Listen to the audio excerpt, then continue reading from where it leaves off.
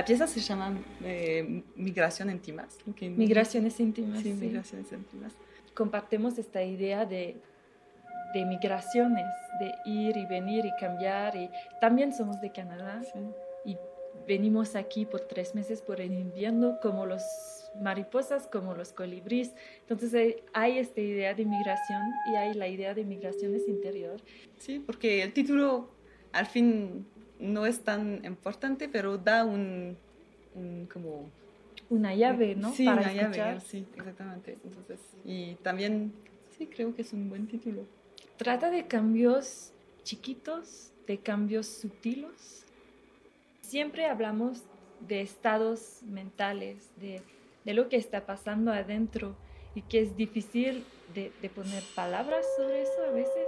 La música es un lenguaje que nos ayuda a a compartir estas cosas y buscamos los estados que compartimos y hacemos música con eso.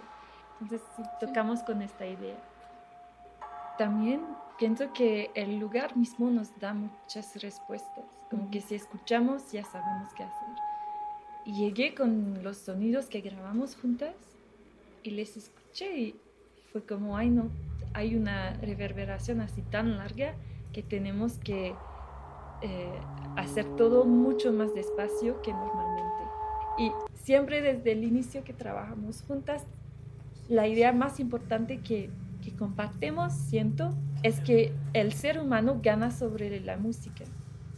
Que trabajé en unos proyectos donde estaba más como, no, el proyecto gana.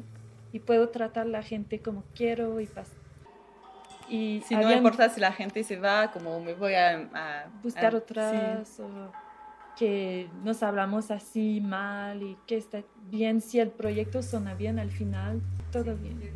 Pero para mí es más el contrario. El sonido es una manera de cuidar a yo mismo y a la gente con quien trabajo, ¿no? Y espero que todo sería así en la vida, que lo que hacemos solo es una manera de cuidar a la gente, no el contrario, ¿no? Somos Florence Garneau y Gabriel HB. Tocamos la pieza Migraciones Íntimas. Sí, vengan a vernos, tocamos aquí en el Centro de Cultura Digital el 5 de abril en la sala que se llama El Memorial.